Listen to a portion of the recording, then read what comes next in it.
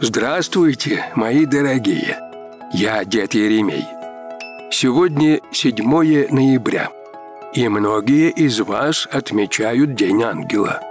Это день памяти святого, имя которого было дано христианину при крещении. Поздравляем с именинами Матрону. Это имя имеет латинское происхождение и переводится как «почетная дама». Небесной покровительницей ее является исповедница Матрона Власова, инокиня.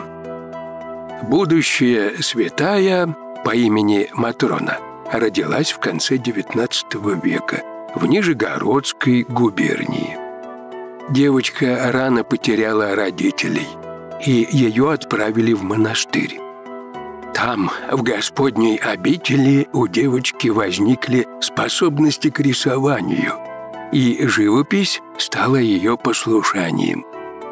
31 год святая провела в стенах монастыря. А после закрытия обители она поселилась вместе с тремя сестрами в селе Кузятово Ордатовского района. Там матушка прислуживала в церкви, зарабатывала рукоделием – вела тихую, скромную жизнь, чем вызвала недовольство властей. Однажды мать Матрону арестовали и обвинили в контрреволюционной агитации, приговорив к 13 годам. Только это ни на каплю не загубило любовь к Господу, а только усилило ее. Даже в 1949 году престарелую инокиню, пережившую многие скорби, власти пытались осудить по старому делу 37 года и отправили матушку Матрону на пять лет ссылки в казахскую глубинку. Освободившись, старушка поселилась в родном селе, в доме брата, где каждый день проводила в молитве, покуда не отдала Богу душу.